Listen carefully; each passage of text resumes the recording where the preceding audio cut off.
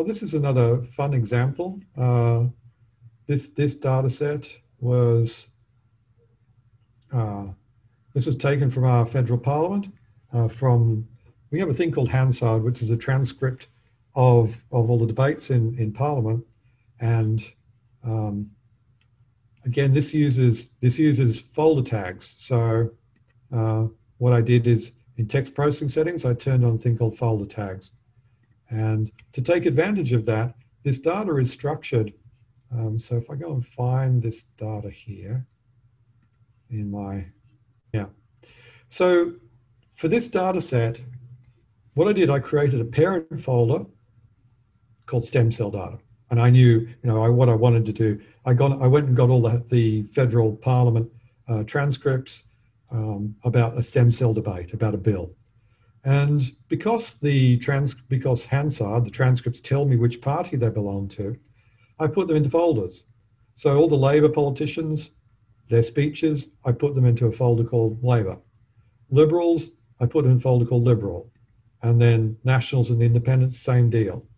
And you can actually see that under there, each of these files has a name, which is the name of the politician that spoke that particular speech.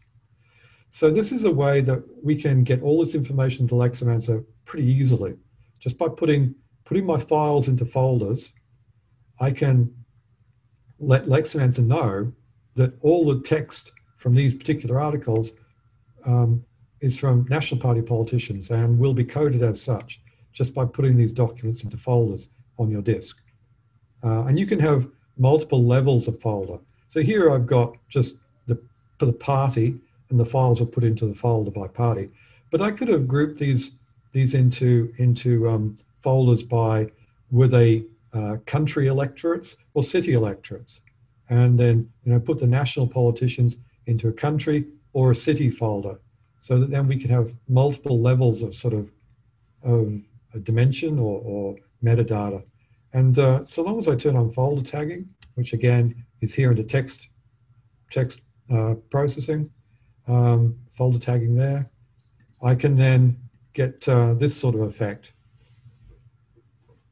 So I can see on the map, I can put my variable for the labor folder and I can see what, what's, what are they near to. You know, they're, they're talking more about people and debate uh, than other things. That's the emphasis. Whereas the Liberal Party looks like they're talking more about uh, research and human life and you know, cloning and questions around that. Ethical beliefs, morals, questions. Um, whereas Labor Party, if I look for those, those uh, loaded concepts, um, I would look here for, um, let's, let's reveal all the concepts. So I can see important, uh, I can see hope, um, I can see need, um, so, and conscience vote. So I think hope, hope is, is kind of like I would flag that. There's a, there's a definite sentiment around there. What, I, what I'd be looking for here is, is the, the emotional or the affect um, points of sensitivity. Um, so there's a sense here of, of, perhaps this is important and there's hope, or it would offer hope. Um, I can see able there, I can see community. Whereas over here, I've got question, I've got ethical beliefs, um, morals, um, human life. Obviously, there's a hot button around there all by itself. So what I'm trying to work out here during my sense making is what's the frame? What's the frame that, that the Liberal Party politicians have agreed? How are they framing this piece of legislation?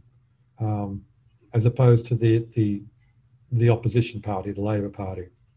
And Leximancer is really good for identifying um, really subtle and complex frames that are being deployed by expert communicators. And politicians are expert communicators. There's no simple favorable, unfavorable here. There's um, liberal politicians who are ostensibly talking about the science, but what they what they they're talking about question um, so how are they, how, so liberal politicians talk about question quite a lot. And how are they talking about that? Well, let's have a look. Um,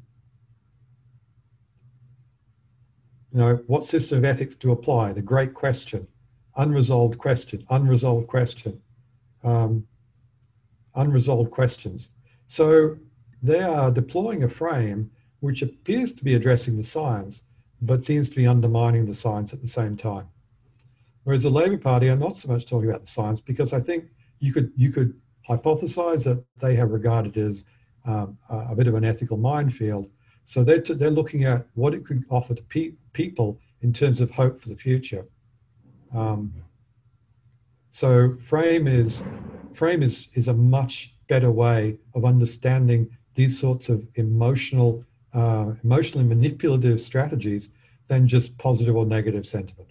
Because in the end, what is what really is positive sentiment? What does it actually mean? Um, so I, am much more in favour of of looking at, at frames for these sorts of ideas.